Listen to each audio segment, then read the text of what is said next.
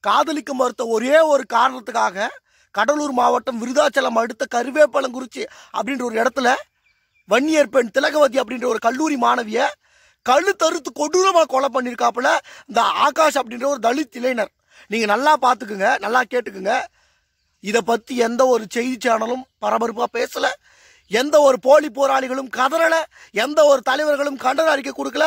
ஐயா ராமதாஸ் அவர்கள் மட்டும்தான் கண்டன அறிக்கை கொடுத்துருந்தாரு. வேறு எந்த ஒரு தலைவர்களும் எந்த ஒரு போலி போராளிகளும் நாங்கள் தான் தமிழ்நாட்டையே தமிழ்நாட்டவே காப்பாற்ற போகிறோம் அப்படின்னு சொல்லிட்டு காட்டு கற்று கத்தக்கூடிய எந்த ஒரு நபரும் வந்து காது கொடுத்து கூட இந்த விஷயத்தை பற்றி பேசலை கேட்கல இதுவே நீங்கள் நல்லா யோசிச்சு பாருங்கள் ஒரு தலித் சமூகத்தை சார்ந்த யாராவது ஒரு ஒரு இளைஞரையோ இல்லை ஒரு ஒரு பெண்ணையோ மாற்று சமூகத்தினர் மாற்று ஜாதியினர் கொலை பண்ணியிருந்தா இந்த மாதிரி கொடூரமாக கொண்டு இருந்தால் இன்னைக்கு எத்தனை பெரிய ஆர்ப்பாட்டங்கள் எத்தனை பெரிய போராட்டங்கள் எவ்வளோ பேர் கதறி இருப்பாங்க யோசிச்சு பாருங்க. எவ்வளோ பேர் அறிக்கை கொடுத்துருப்பாங்க. இன்னைக்கு மு- முகப்பத்துக்கு முழுசும் அதை பற்றி தான் பேசியிருப்பாங்க. அப்போ அவங்களோடது மட்டும்தான் உயிர் மற்ற ம- சமூக மற்ற ஜாதி சார்ந்தவங்களோடது உயிர் இல்லையாங்க? யோசிச்சு பாருங்கள் என்னை பொறுத்த வரைக்கும் குற்றவாளிகளை குற்றவாளிகளாக தான் பார்க்கணும். ஜாதியை வச்சோ மதத்தை வச்சோ யாரையும் வந்து பிரிக்கக்கூடாது. அவங்க ஜாதியை வச்சு தப்பிச்சு போகக்கூடாது அப்படின்றதுல நான் வந்து முழு மனசோட சொல்கிறேன் இப்படி இப்படியெல்லாம் பேசினா என்ன ஜாதி வெறியன்னு சொல்லிட்டு ஒரு சிலர் நினச்சிப்பாங்க. நான் சொல்கிறேன் சத்தியமாக சொல்கிறேன் இதுவே ஒரு தலித் சமூகம் சார்ந்த ஒரு ஒரு பெண்ணையோ ஒரு ஒரு ஆணையோ இப்படி யாராவது ஒருத்தன் கொலை பண்ணி கழுத்தறுத்து நடு ரோட்டில் போட்டிருந்தானா முதல் ஆளாக அந்த சமூகத்துக்கு குரல் கொடுக்கக்கூடிய முதல் ஆளாக நான் இருந்திருப்பேங்க. சத்தியமாக சொல்கிறேங்க முதல் ஆளாக நான் இருந்திருப்பேன். ஆனால் இன்னைக்கு ஒரு அப்பாவி பெண் திலகவதி அப்படின்ற ஒரு அப்பாவி பெண் அவங்க அப்பா வெறும் மேஸ்திரி வேலை செய்கிறாங்க வீட்டுக்கு வாடகை வீட்டில் தான் வசிச்சுட்டு இருக்காங்க. அந்த பொண்ணுக்கு நல்லா தெரியும் நம்ம படித்தாதான் நம்மளோட லைஃப் அப்படின்றதுனால காதலிக்க எனக்கு காதல் பிடிக்காது அப்படின்னு சொன்ன ஒரே ஒரு காரணத்துக்காக கழுத்தறுத்து கோ கத்தியால் குத்தி கொலை பண்ணியிருக்கான். இதை பற்றி நம்ம பேசுகிறோமா இல்லையா? யோசிச்சு பாருங்க. இதுவே அவங்களோட சமூகம் சார்ந்தவர்களுக்கு இப்படி இன்றைக்கி இன்னைக்கு பேர் குரல் கொடுத்துருப்பீங்க? அப்போ அவங்களோட உயிர் மற்றவங்களோடது என்னங்க? நான் கேட்குறேன் என்ன? உங்கள் எல்லாரையும் கெஞ்சி கேட்டுக்கிறேங்க. தயவு செஞ்சு வெளியில் வாங்க. வெளியில் வந்து பாருங்க. அதாவது இந்த ஜாதியை சார்ந்தவங்க அந்த ஜாதியை அடித்தா தான் நாங்கள் குரல் கொடுப்போம். இவங்க போயிட்டு அவங்கள வெட்டினா தான் நாங்கள் குரல் கொடுப்போம். அவங்க வந்து இவங்களை வெட்டினா நாங்கள் குரல் கொடுக்க மாட்டோம் அப்படின்னு சொல்லிட்டு ஒருதலை பட்சமாக இருக்காதிங்க. எல்லாரோடதும் உயிர் தாங்க. எங்கே யாருக்கு நீதி வேணுமோ அவங்களுக்காக நம்ம குரல் கொடுக்கலாம். எவன் தப்பு பண்ணாலும் அவனை அவனுக்கு தண்டனை வாங்கி கொடுக்கறதுக்கு நம்ம குரல் கொடுக்கணும்? அது எந்த ஜாதி எந்த மதமாக இருந்தாலும் பரவாயில்ல. வெளியில் வந்து தயவு செஞ்சு பாருங்க. அதே போல் பார்த்தீங்கன்னா ஒருதலை அந்த காதலால் பார்த்தீங்கன்னா இந்த நான் லவ் பண்ணிட்டேன் நான் க- என்னுடைய காதலை ஏற்க மறுத்துட்டேன் அப்படின்னு சொல்லிட்டு கத்தியால் குத்தி வெட்டி சாகடிக்கக்கூடிய கலாச்சாரம் நாளுக்கு நாள் அதிகமாகிட்டே போயிட்டு இருக்கு அதுக்கு அரசாங்கம் உரிய நடவடிக்கை எடுக்கணும். கடுமையான ஒரு தண்டனையை வந்து இந்த மாதிரி ஒரு விஷயம் பண்ணுறவனுக்கு நம்ம வழங்கணும். அப்போ தான் பார்த்தீங்கன்னா இது குறைக்கப்படும்.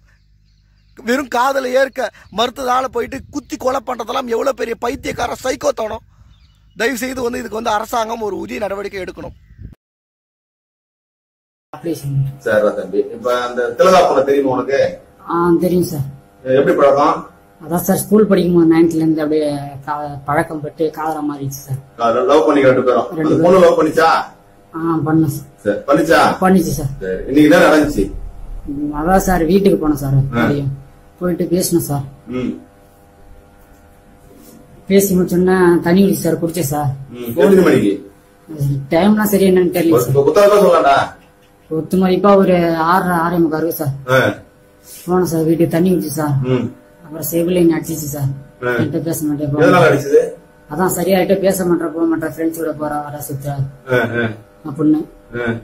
அடிச்ச உடனே ஏற்கனவே போன்ல சண்டை ரெண்டு பேரும் ஆமாங்க சார் போட்டேன் சார் என்னைக்கு அது முந்தா நாள் நைட்டு சார் நைட்டு ஆமாம் சார் சண்டை போட்டு அதனால பார்க்க வீட்டுக்கு போனேன் ஆமாங்க சார் சரி அது கோத்துல என்ன அடிச்சு சார் நான் அப்புறம் கீழே வந்துட்டேன் முடிஞ்ச தண்ணி ஊற்றி ஏந்து உட்காந்து தண்ணி ஊற்றிச்சு சார் தண்ணி ஊற்ற உடனே நான் அப்புறம் ஏந்து உட்காந்து பேசிட்டு சார். பேசிட்டு இருந்தோடனே நீ பிடிக்கல உன் ஃப்ரெண்ட்ஸ் எல்லாம் முக்கியம் போ வா. ம், இப்படிலாம் பேசாத. அப்படின்னு சொல்லிச்சுங்க சார். சொன்னோன்னே அப்புறம் எனக்கு கோவம் வந்துச்சு சார். அதான் சார் இந்த அதனால சார் கத்தியில குத்திட்டேன்? அதனால சார் அதனால தான் சார் நான் கத்தியில குத்திட்டேன். எந்த கத்தியால? சூரிய கத்தின்னு ஒன்று சின்ன கத்தி இருக்கு சார். எங்க எங்க இருந்து எடுத்த கத்தி? அது வந்து வீட்டுல இருந்துச்சு சார். எந்த வீட்டுல? எங்க வீட்டுல சார். போனா போகும்போது ஆமா சார் எடுத்தேன் சார் போனேன். போய் சொல்றேன் போய் சொல்ற. வீட்டெல்லாம் எடுத்துட்டு போல சொல்லு. இவ்வளவு சொல்லிட்ட. உண்மையை என்ன சொல்லு. ஒன்னும் ஃப்ரீயா பேசுறா. சார் வீட்டுல செல்லு பாக்ஸ்? வீட்டு பாக்ஸ்ல இருந்துச்சு சார். சரி.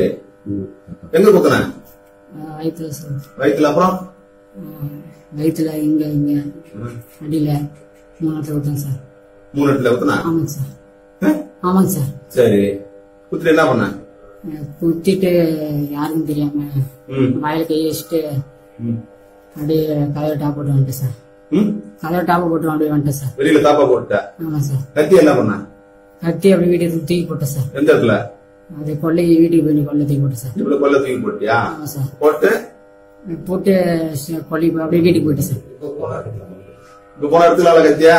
போன அது எடுக்க முடியாது சார்.